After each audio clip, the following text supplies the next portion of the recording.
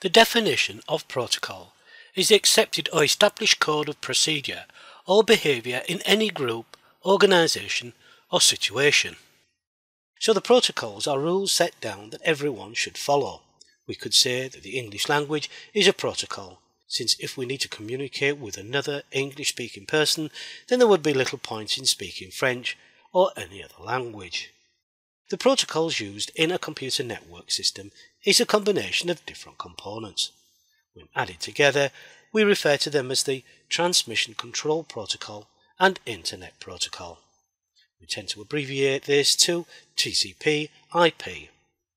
So if we have a network using TCP IP protocol and you want to add a further computer to it, then it too would have to use the TCP IP to communicate with the others on that network. Modern networks are now almost exclusively based on the TCP IP suite. To connect to a TCP IP network, a host needs two pieces of information an IP address, and subnet mask. This next section focuses on the basic TCP IP configuration settings. At the time of writing, the majority of IP communication which will take place will use the Internet Protocol version 4, also known as IPv4. In the future, another version of IP will become more common. This is known as IP version 6. An introduction to this is included later in the unit, but the majority of configuration here will take place using the IP version 4. The IP address can be thought of a postal address. For example, if you send a letter to a friend, you would include, amongst other things, the name of the street and the number of the house down that street they live. There can never be two house numbers the same in that street, otherwise the letter would never arrive. This is the same with the computer network the computers connected to a network is normally referred to as a client or host, depending upon its role. And each one must have a unique address, or the information would never arrive at the intended client or host. Easiest way to see how an IP address and subnet mask work together is to look at one. To view the IP configuration of a Windows system, we can use the command prompt and enter the command ipconfig. In our example, we can see five connections. You may find that this is different on the system that you are using. This is the Ethernet adapter. If it was a wireless adapter, the description would include wireless LAN adapter. So this is the type of connection. We shall concentrate on the first one shown here. The link local IPv6 address is the version 6 address we spoke about earlier. Notice this address is a hexadecimal number. Not only does it contain all the numbers from 0 to 10, but also the letters A to F. This is the system IPv4 address, and it is in most cases referred to simply as the IP address. The address can vary greatly depending upon sentences, which will be introduced shortly.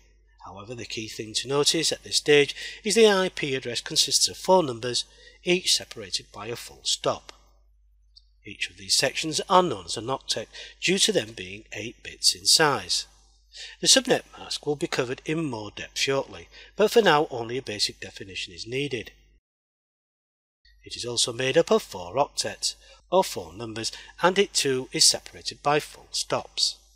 The subnet mask works with the IP address and is used to help identify the portion of the address which is used for the network identification and the portion of which is used for the host identification. We could think of this of which part of the IP address is the street name and which part of the IP address is the house number. This will become clearer as we proceed. The numbers used vary less than those used in an IP address, in most cases, you will see the values 255 or 0 being used.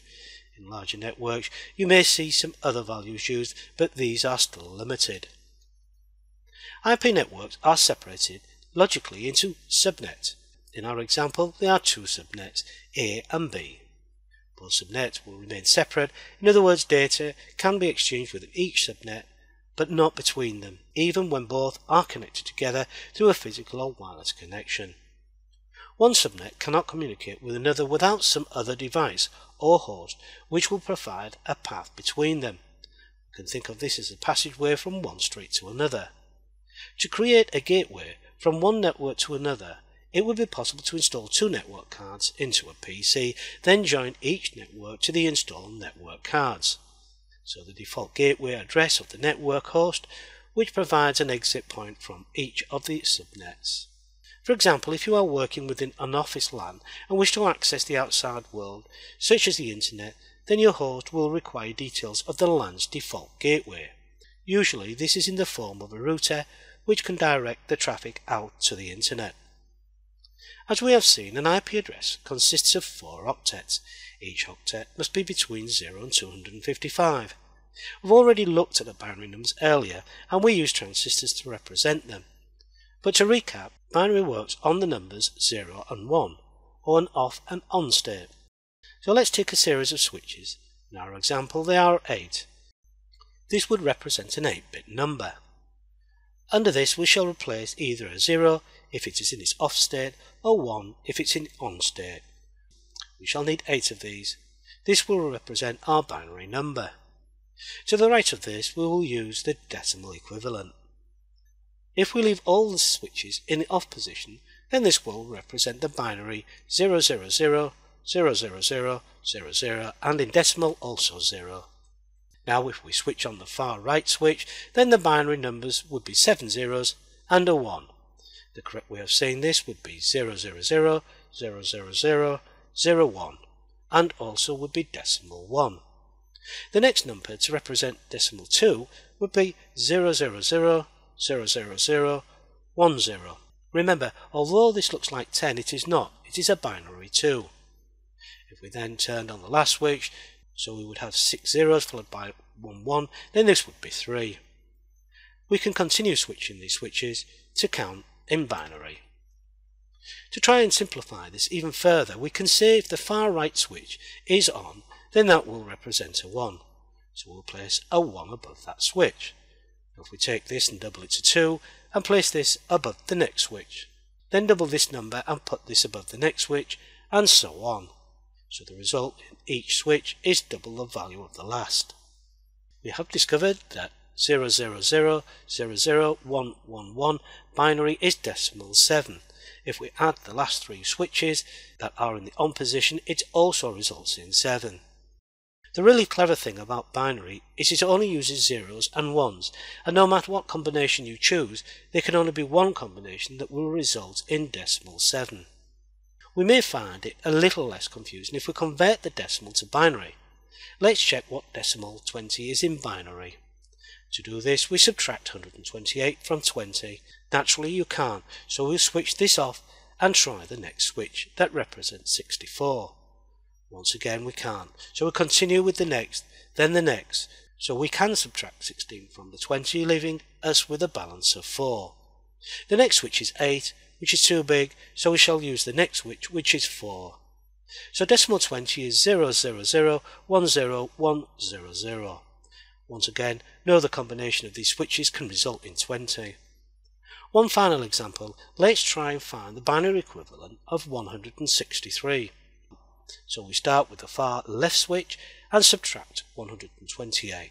This is left on as a 1, leaving 35 we will be unable to subtract 64, but we can subtract the 32, leaving 3. So the last two switches will be left in the on position. Again, only this combination of zeros and ones will result in a decimal 163. So what is the largest 8-bit number we can have? To see this, we have to switch all the switches to the on position, then add all the numbers together, resulting in 255. Let's take a valid binary IP address. It consists of four 8-bit numbers, a total of 32 bits or 4 octets. Each 8-bit number is separated by a full stop. The problem in displaying IP addresses like this is for us humans mistakes can easily be made when handling a large number of zeros and ones as in this example. We find it much easier if we display the equivalent IP address in decimal. Let's convert each of the 8-bit numbers into decimal. We place the first binary number under the switches and only those switches that are above a 1 will be switched into the on position. If we add these two numbers together, it results in a decimal 10. Let's replace this with the next binary number, once again turning the switches on for those above the ones. We can see here this makes a decimal 233. Then the next binary number. It only has 1 in it so it is a decimal 1. Now the final binary number. Only the last two switches need to be switched. This will result in a decimal 192. Once again, we shall add the full stops to complete the IP address. The subnet mask is important as it is used to indicate the network ID and the host or client ID. A subnet mask octet can be either set or not set. To set an octet it will be 255. Remember this is the largest number an octet can be. Or not set which would be 0. The combinations are 255.0.0.0, 255.255.0.0 or 255.255.255.0. These are called classes, class A, B and C. So in a class A, only the first octet in the subnet mask is set. This means that only the first octet of an IP address is used for the network ID, the other three octets of the IP address is used as the host ID. In a class B, the first two octets are set, therefore the first two octets of the IP address is the network ID and the last two is the host ID. In the final example, class C, the first three octets are set in the subnet mask, so the first three octets in the IP address is the network ID and the final octet is the host ID. Remember for a host to communicate with each other they have to be on the same network ID. So here we have a network with an ID of class A, so every host can communicate with each other. But if the ID network of a host is changed, then it will be unable to communicate with the others on the same network. Let's set the following on a Class A network, giving each host an IP address and a subnet mask. We should point out at this stage that the class of a network is not only dependent upon the subnet mask, but also on a minimum and maximum IP addresses. We shall be looking at this later. Let's take the first host with an IP address of 10.200.0.23. We can see the first octet of the subnet mask is set, so this host is on a network ID of 10. The host ID is 200.0.23. Let's take the next example. Once again, the first octet is a subnet mask is set, so the host is also on a network ID of 10, and the host ID is 10.0.2. The next host is also on a network ID of 10, since the first octet of the subnet mask is set. Its host ID number is 55.32.91. And finally, the same applies for the last host. It is on a network of 10 and it has a host ID of 0.0.63. So we could say that the network ID of the network is 10.0.0.0 rather than just saying 10. In our last example, the host on the left IP address was changed to a class B. We shall do the same now, changing it to 172.18.0.2. Look at the subnet mask. It is now 255.255.0.0. This means the first two octets are set, which means the network ID for this host has changed to 172.18 and with it changing it will be unable to communicate with the host on the network ID of 10.0.0.0. There are some other limitations with IP addresses which we shall look at later during the coursework. It is not expected for you to totally understand IP addresses and subnet masks at this stage, and it would be beneficial to watch this video again or seek out further explanation.